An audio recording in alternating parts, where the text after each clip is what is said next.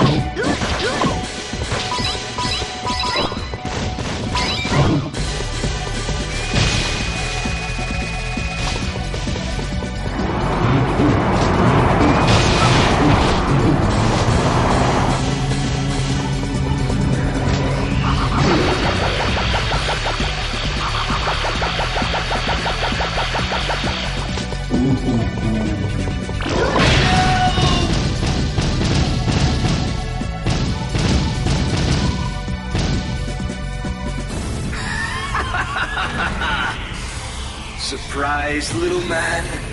Feast your eyes upon his true form. Ultra Goliath. Ah! Behold the sheer perfection, the exquisite simian symmetry. Ultra Goliath will crush you like an ant. Watch out there, or you'll become part of the floor. All you can do now is run and hide, little man.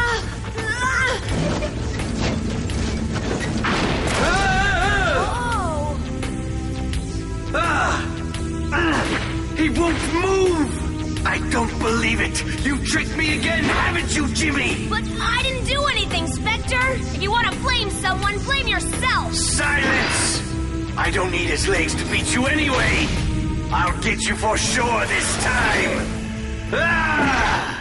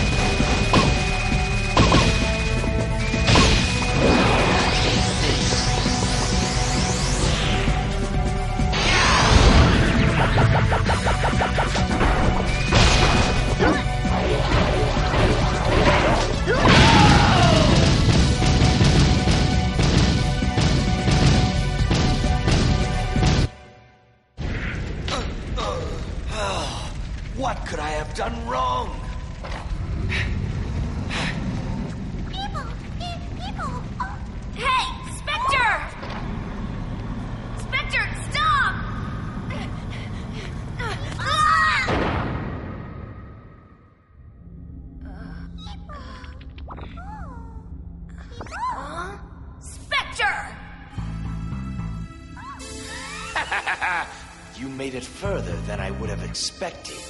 Not too shabby for a mere human. Not too bad yourself for a monkey! You are a tough little man, aren't you? I respect that.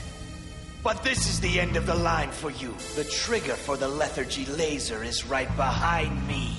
Once I flick this switch, it'll be game over for you humans. What? Come now. Surely you can't refuse the chance to be ruled by superior beings. You got us wrong. You don't know anything about us. What? Humans never stop trying. That's what gives us a future. We'll never give in to the likes of you. Give up. You don't stand a chance.